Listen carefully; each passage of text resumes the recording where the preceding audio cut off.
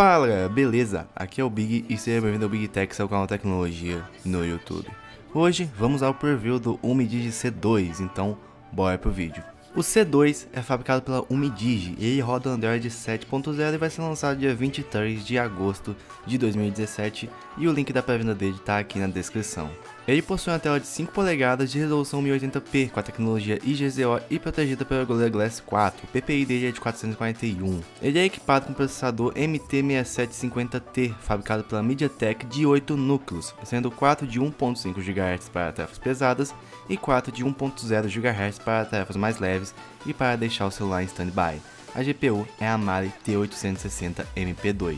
Sua câmera traseira é fabricada pela Samsung e possui 13 megapixels, enquanto a frontal pela Galaxy Core de 5 megapixels. A traseira consegue gravar a 1080p a 30 fps. Ele possui 4 GB de RAM do tipo DDR3 numa frequência de 833 MHz. Sua memória interna é de 64 GB, expansível até 256. Falando em expansão SD, Aqui você tem aquele velho esquema de baia híbrida, ou seja, você não pode usar dois chips e um cartão de memória ao mesmo tempo. Você tem que usar ou dois chips, ou um chip e um cartão de memória para expandir a memória, já que possui apenas dois slots.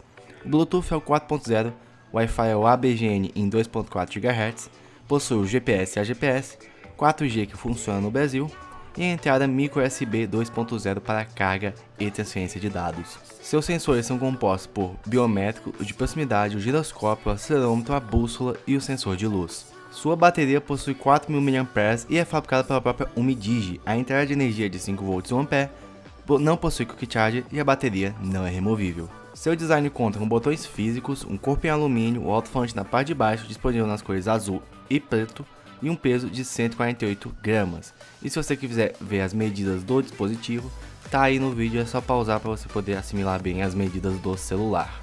E chegamos à parte mais importante, que é a parte do preço dos prós e dos contras. Bem, ele está sendo encontrado por 540 reais nos links da descrição. E quais são os prós dele? O armazenamento de 64 GB, como eu vivo falando, super e sobra bastante para a maioria das pessoas. A câmera da Samsung consegue prover boas imagens, ok, boas fotos e uma gravação de vídeo boa, não excelente, mas boa. E seu custo-benefício geral, que por 540 reais está sendo por um custo legal, principalmente por causa do lance da câmera ser muito boa e do armazenamento. O contra dele é que ficou faltando a entrada Type-C, que muita gente realmente está querendo essa entrada agora, que é abandonar o USB 2.0 e quer partir logo para o Type-C e o neutro dele ficou que ele tem somente 5 polegadas. Para pessoas de mão pequena, talvez isso seja um Pro, para pessoas de mão um pouco mais grande, talvez seja um Contra, ok? Ele possui 5 polegadas, então isso ficou como neutro. Mas aí, você compraria o Midigi C2? Responde aqui no card ou nos comentários. E vale lembrar, o link dele tá aqui na descrição. Então, foi isso pessoal. Se você gostou do preview do Midigi C2, deixa aquele like. Se não é inscrito, se inscreve. Valeu, falou e até a 不要洗吗？